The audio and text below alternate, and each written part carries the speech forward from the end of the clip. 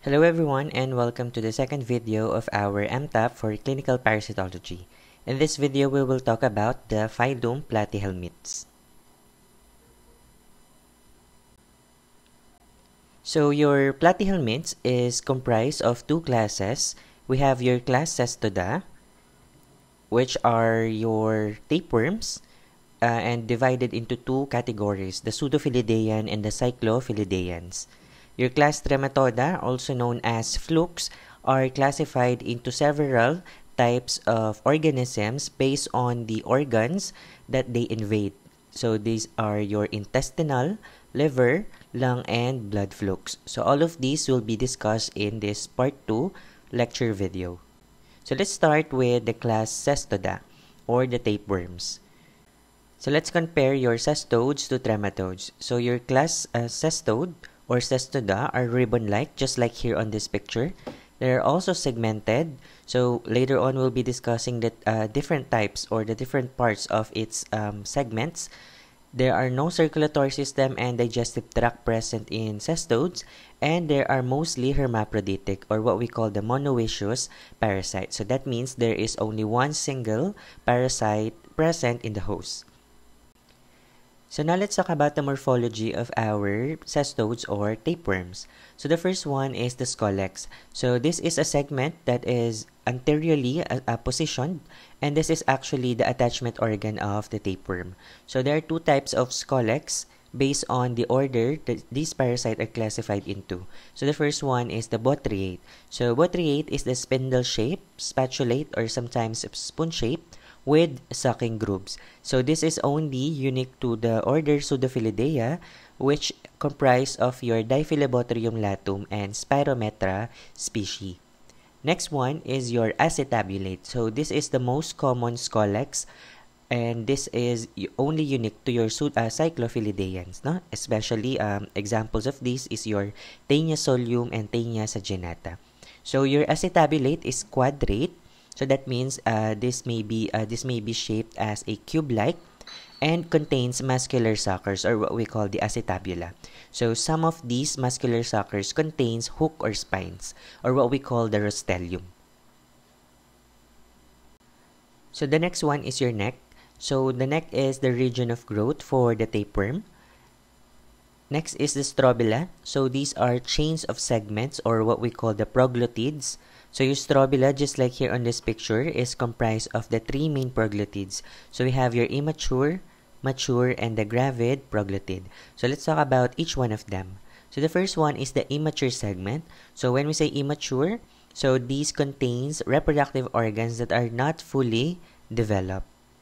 While your mature segment, on the other hand, contain at least one set of reproductive organs, such as your testes and ovary. And lastly, gravid segment, just like here on this picture. So your gravid segment from the word gravid, which means pregnant. So this is the segment that is filled with eggs. So there are two ways on how our tapeworms release their eggs. So the first one is the apolytic proglottid. So through the uh, process apolysis, so in order for these particular tapeworms to release their eggs, they should detach specifically the gravid proglottids. So, hence the name apolytic proglottid. So, these are unique to your cyclophyllidean. An example of this is your Taenia species. Next one is anapolytic proglottid. So, this is the counterpart of your apolytic, which means that uh, in order for our tapeworms to release the egg, uh, sorry, uh, for ap- anapolytic, they release the egg first and then the gravid or the proglottid is detached. Again, for anapolytic, the eggs should be released first, normally just like any parasite, and then right after the proglottid is being detached. So this is unique to your pseudophyllidean. An example of this is your D. latum. So here is the difference between the two orders of our cestodes, the pseudophyllidean and the cyclophyllidean. So kindly take note, just like we have discussed a while ago, in terms of the ova, your pseudophyllidean, just like your D. latum, so these are immatured when laid. And most of our eggs are operculated compared to your cyclophyllidean that are non-operculated, so that means they do not contain operculum. Later on, we'll discuss this. And they are matured when laid by the worm. Also, take note of the requirement in terms of their intermediate host. So, your pseudophyllidean requires at least two intermediate hosts, while your cyclophyllidean requires one uh, intermediate host. So, let's start with the order Pseudophyllidea. So there are only two parasites that are under your pseudophyllidea, and the first one is the Diphyllobothrium latum, or in short, D. latum. So your D. latum is the fish tapeworm and the broad tapeworm. So this is the largest tapeworm of man, and the first intermediate host of these parasites are the copepods, which are usually uh, small microscopic animals that are present in the water. So the second one is the freshwater fish. So the definitive host of this parasite is humans.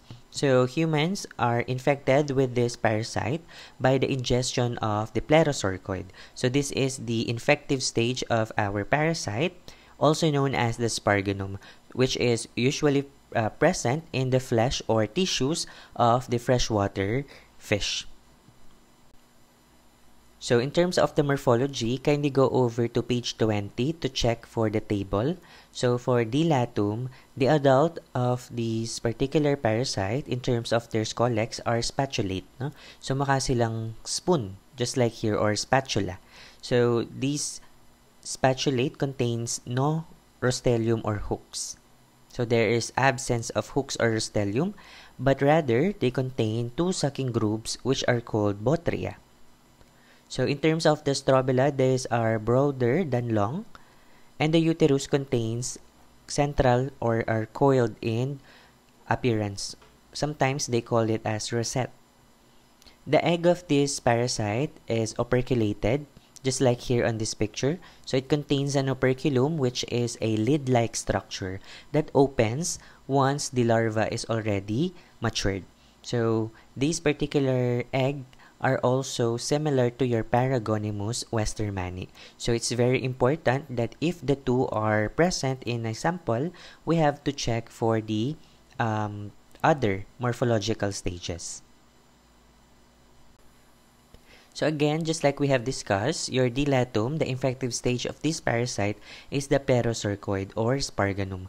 So in terms of the pathology, this is also known as the diphyllobothriasis, and it is associated with vitamin B12 deficiency or megaloblastic anemia. So there are also non-specific gastrointestinal problems such as abdominal pain, diarrhea, and so on. So in terms of diagnosis, direct microscopy is enough to diagnose this parasite.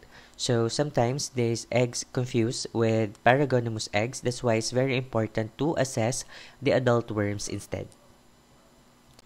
So the next pseudophyllidean is Spirometra species, specifically Spirometra mansoni. The old name of this parasite is Diphyllobothrium mansoni, but right now this is already considered under the genus Spirometra. So just like your Diphyllobothrium latum, it requires copepods as their first intermediate host.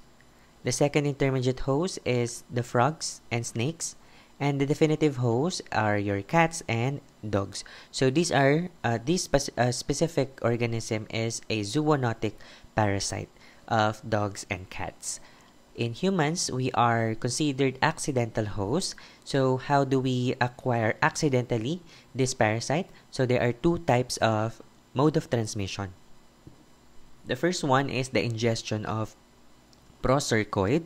So this is the first larval stage of your spirometra, which is present in the first intermediate host, your copepods. So um, this particular mode of transmission is done or is caused by ingesting or drinking contaminated water with copepods. The next one is the ingestion of the plerocercoid or sparganum. So this is the most common one by eating infected frogs or snakes. So in terms of the morphology, your spirometra, specifically the sparganum or plerocercoid, contains an anterior end that is thickened and wrinkled. Usually this anterior end also contains a cleft-like invagination, just like here on this picture.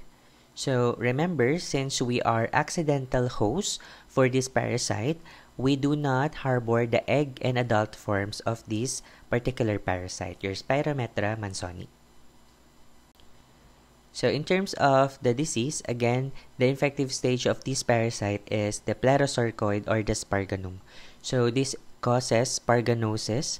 So this is an extra-intestinal infection that is usually painless.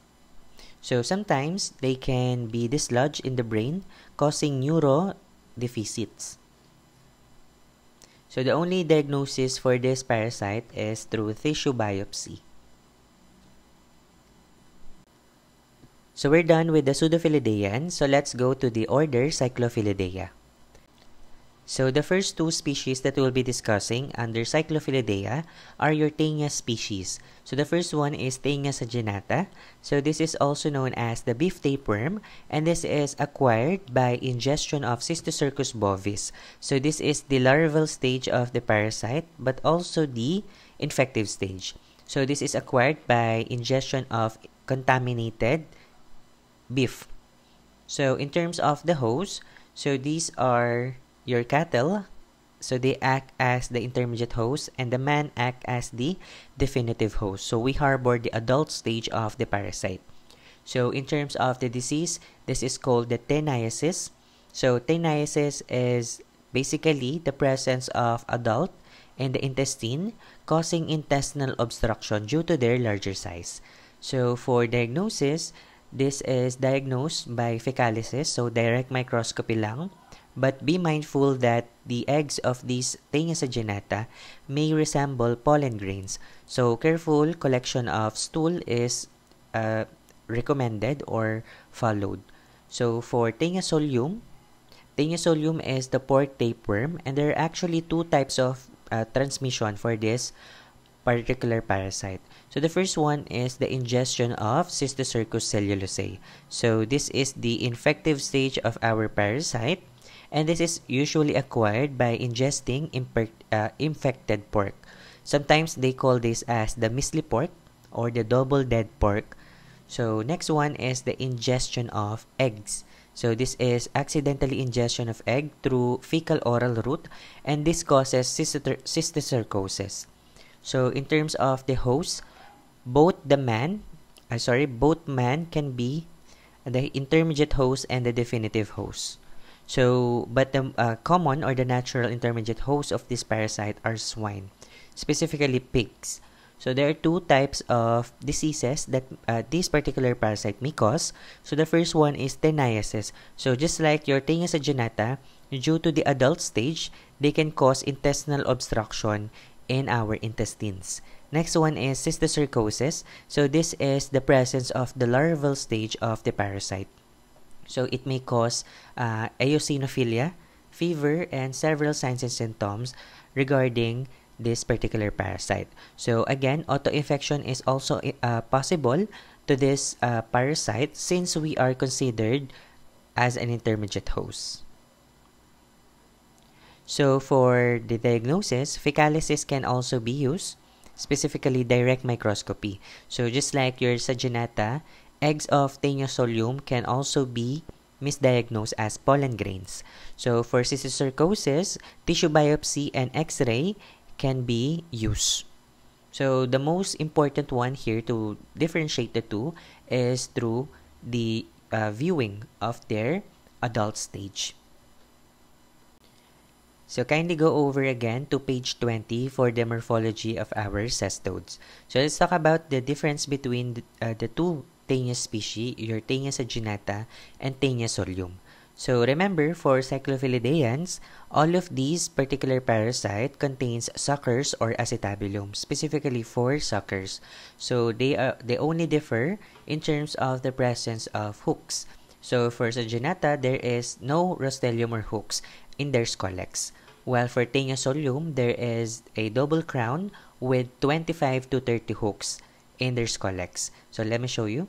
So as you can see, the scolex, just here on this picture, for Taenia solium contains multiple hooks. While for Saginata, wala. Okay, malinis siyang tignan. So the absence of hooks in their scolex is for Taenia saginata. Next one, in terms of the proglottid, these are longer than broad, so both Taenia saginata and Taenia solium. For the genital pore, for Taenia saginata, it has a irregular alternation and it contains 15 to 30 lateral branches on their uterus. So sometimes for Taenia saginata, there these types of branches are described as dichotomous or tree-like. So let me show you later on. So for Taenia solium, in terms of their genital pore, these are regular alternation with 7 to 12 lateral branches on their uterus. So others say that the lateral branches of Taenia solium may resemble fingers or are called dendritic. So let me show you. So here is the Taenia saginata. So as you can see, it has multiple um, lateral branches, no, around 15 to 30, and these are tree-like in appearance. While your Taenia solium, these have lesser lateral branches at around 7 to 12, and these particular branches are shaped or appeared as fingers.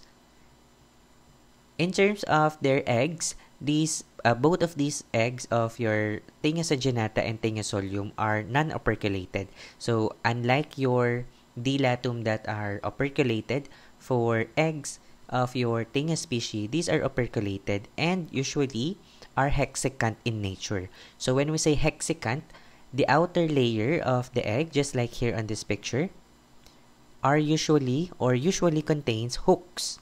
So these are all hooks surrounding your egg. Okay? Hexacanth embryo. So let's talk about the Hymenolepis species. So in terms of these species, there are two clinically significant.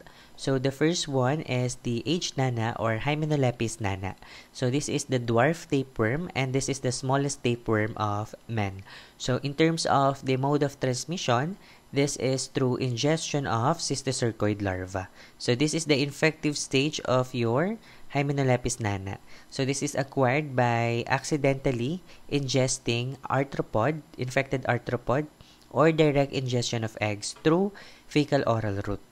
In terms of their hosts, man can be intermediate host and also your arthropods such as your grain beetles. So for the definitive host, the only definitive host of your H. nana is human. So human can be uh, both your intermediate host and definitive host for H. nana. So this is the only tapeworm that can complete its entire life cycle in a single host.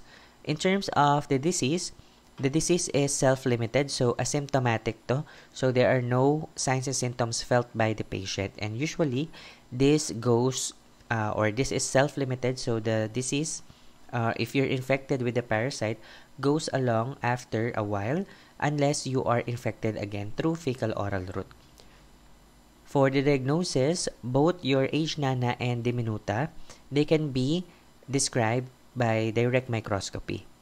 For H. diminuta, this is also known as the rat tapeworm. So both your H. nana and diminuta, their infective stages is the cysticercoid larva. Again, both of these can be acquired by accidentally ingesting infected arthropod. For H. nana, the arthropod is the rat flea, which also acts as the intermediate host of this parasite. The definitive host of this parasite is rat. So the uh, humans can be accidental. So by ingesting this arthropod. So for the disease, just like your H. nana, your H. diminuta is asymptomatic as well. But remember, in terms of autoinfection, H. nana is possible. So, since we are the intermediate host of this parasite, while for H. diminuta, autoinfection is not possible because we are not the intermediate host, but rather the rat flea. So now let's differentiate the morphology of the two Hymenolapis species. So the first one is H. nana, so remember, in terms of their scolex, H. nana contains an armed rostellium with 20 to 30 hooks, while for diminuta, it contains an unarmed rostellium which usually is devoid of hooks or without hooks. So here is the picture. So as you can see, there is no or the absence of hooks for H. diminuta in their scolex, while for H. nana, there is the presence of an armed rostellium with 20 to 30 hooks, just like here on this picture. Next one, in terms of their proglottid, these are broader than long. In terms of their unit, uh, genital pore and uterus, for genital pore, uh, pore there is a lateral uh, alteration or alternations of their genitals. For uterus, there is a sacculate present. So just like here on this uh, picture. So their uterus is succulent shaped, just like a cactus. While for the eggs, kindly take note for H. nana, it contains two polar thickenings with 4 to 8 filaments. So for H. diminuta, there are no filaments present. So let me show you. So for H. nanas, you can see the filaments are very visible at the terminal end of the parasite. While for diminuta, there are no presence of filaments only the two polar thickenings. So the other species under Cyclophyllidea, so these are considered zoonotic parasites. So they attack or they require animals as their definitive host. So the first one is Dipylidium caninum. This is the dog tapeworm and the double-pored tapeworm. So later on, we'll explain why it is so called the double-pored tapeworm. So the mode of transmission of this parasite is through ingestion of cysticercoid larva. So this is the infective stage of the parasite through infected arthropod. So usually the infected arthropods are under the uh, genus of this uh, particular uh, flea. So we have the dog flea, the cat flea, and the human flea. So they act as the intermediate host of the parasite. Of course, the definitive host is uh, usually is dogs or cats. So usually in terms of the life cycle, humans act as an accidental host by accidentally inf- uh, ingesting the arthropod. So again, your infective stage for D. caninum is cysticercoid larva and the disease is usually asymptomatic just like your Hymenolepis species. So for the diagnosis, we can check for the presence of gravid proglottids, okay, which resembles melon seeds, pumpkin seeds, cucumber seed, or rice grains under the microscope, just like here on this picture. Next one is Echinococcus granulosus or E. granulosus. So this is the hydatid tapeworm and it is an extraintestinal tapeworm because it attacks the liver, lungs, and central nervous system, specifically the tissues of these particular organs. So this is the shortest tapeworm of man and it only contains three segments, just like the other uh. So the mode of transmission of this particular parasite is through ingestion of eggs. So the, infer- uh, the intermediate host of this parasite is sheep and the definitive host is canine, just like the wolf, no? With it, which is usually the predator of sheeps. So humans are also considered accidentally uh, host or accidental host by ingestion of eggs. So in terms of the infective stage, so the infective stage of this parasite is the hydatid cyst. So your hydatid cyst is a cyst containing a fluid with broad capsules and protoscolices, just like here on this picture.